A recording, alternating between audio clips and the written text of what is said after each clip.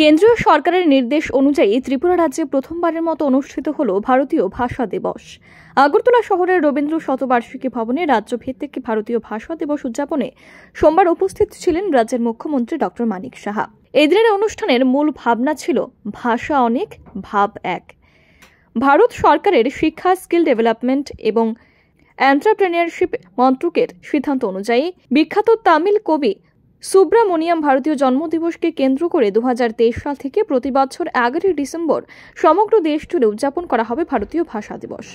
ভারতীয় বৈচিত্র্যের মধ্যে ঐক্যের মূল ভিত্তি হল বহু ভাষাবাদ। মূলত একে অপরের ভাষা সম্পর্কে জানা এবং তরুণদের মধ্যে এই বিষয়ে উৎসাহিত করার উদ্দেশ্যেই এই কর্মসূচি নেওয়া হয়েছে বলে এদিন জানিয়েছেন মুখ্যমন্ত্রী। এর পাশাপাশি আলোচনা করেছেন স্বাধীনতার যুদ্ধে কবি সুব্রামণিয়াম ভারতীর অবদানের বিষয়েও। স্বাধীনতার যুদ্ধে দেশের যুব শক্তিকে উৎসাহিত করতে দেশপ্রেমের গান লিখেছিলেন তিনি। স্বাধীনতা সংগ্রামের পাশাপাশি তামিল কবিতার একজন অগ্রণী কবি ছিলেন সুব্রামণিয়াম ভারতী। তার জন্মদিবসকে কেন্দ্র করে ভারতীয় ভাষা দিবস উদযাপন করার সিদ্ধান্ত নিয়েছে কেন্দ্রীয় সরকার।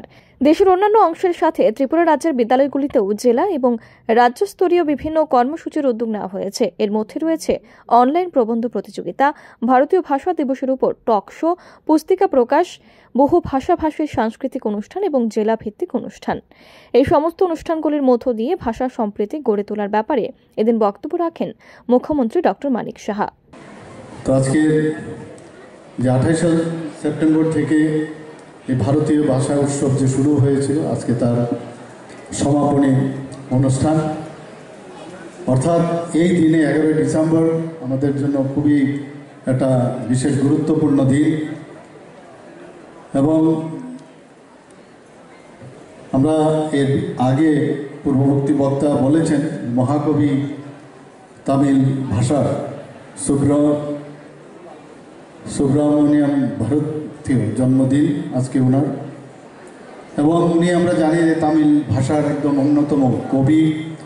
শুধু কবি না, সাংবাদিক ছিলেন, মহান স্বাধীনতা সংগ্রামী ছিলেন। এবং বর্ণ, জাতি, সামাজিক বিভেদ মোচনে সারা জীবন উনি কাজ করে গেছেন, উনার জন্মদিন।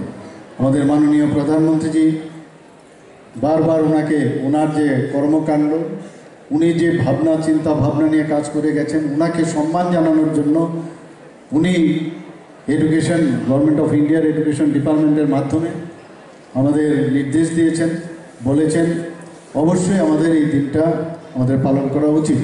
এবং সেই কারণেই আজকে এই ভারতীয় ভাষা উৎসব শুরু হয়েছে। এবং এখানে বারবার বলা হয়েছে একটা যে ভাষা অনেক ভাব এক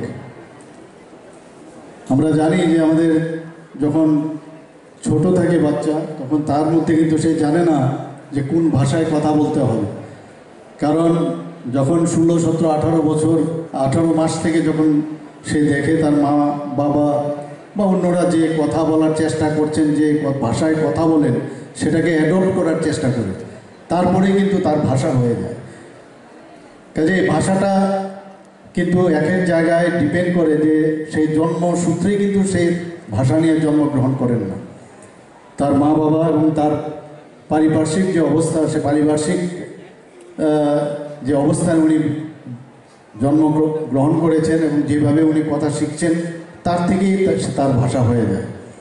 তো আমরা জানি যে আমাদের ত্রিপুরাতে অনেক ভাষা আছে আমাদের উনিশটা ট্রাইবেল গোষ্ঠী যারা আছেন, তাদের ভাষা এক একজনের আলাদা আলাদা। এবং এটাকে সম্মান জানানোর যে বিষয়, মাননীয় প্রধানমন্ত্রীজি বলছেন যে আমরা যে বিবিধের মাঝেও আমরা ঐক্য, যেটা সম্ভব এবং যেটা আমাদের এই সুব্রমণিয়াম ভারতী যেটা বলার চেষ্টা করেছেন যে ভাষার মাধ্যমে আমরা ইউনিটি ইন ডাইভার্সিটির যে বিষয়টা, ওটার উপর গুরুত্ব দিয়েছেন। এই দিনের অনুষ্ঠানে উপস্থিত ছিলেন ত্রিপুরা শিক্ষা দপ্তরের বিশেষ সচিব রাভেল হেমেন্দ্র কুমার উচ্চশিক্ষা দপ্তরের অধিকর্তা এন সি শর্মা এবং বুনিয়াদী শিক্ষা দপ্তরের অধিকর্তা সুভাষিস বন্দ্যোপাধ্যায়। ব্যুরো রিপোর্ট আর ই নিউজ।